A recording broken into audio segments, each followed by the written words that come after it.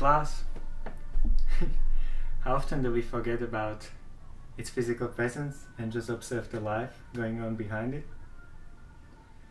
And yet, it is its very constitution, its transparency that enables us to look through it and to forget about it.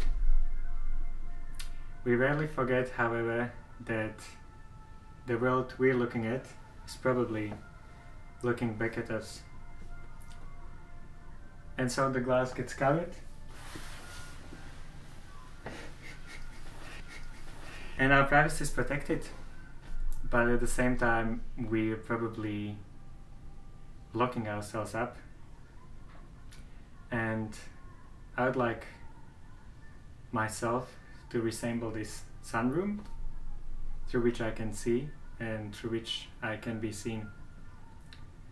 And this project's about my life being as transparent as possible.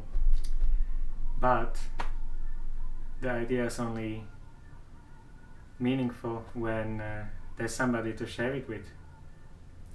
And so I invite you to participate and I invite you to become a part of my life.